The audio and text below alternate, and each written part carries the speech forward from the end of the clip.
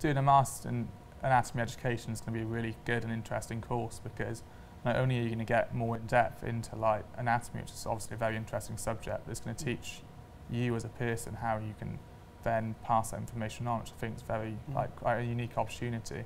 It's a different way of looking at the subject, Sure.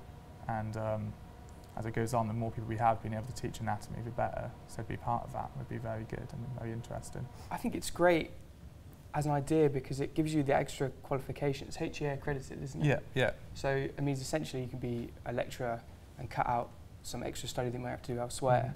So it almost fast tracks you. yeah. Well, you're cutting a year. Doing a fellowship would be take a year. Yeah. So you're, Yeah. you're already all doing it all in one.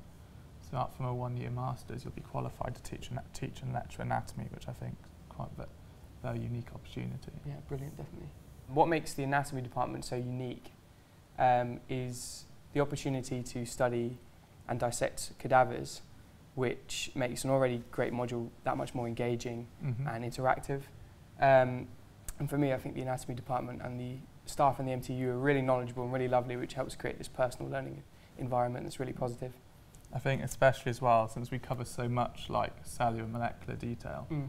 it's all well and good to know like at a molecular level how like myofibers work. Sure. But then like you get to the actual dissection and you see in front of you like at a gross like an anatomical level how it works and really complements well some of the more in-depth molecular and cellular stuff we get into throughout the three years we're here. I think as well as that, because some of the demonstrators have kind of done anatomy before as students as well, that kind of really makes you feel comfortable in the situation that people have been through it and got through it and done well, Mm-hmm. Sure. which is really nice as well. Yeah.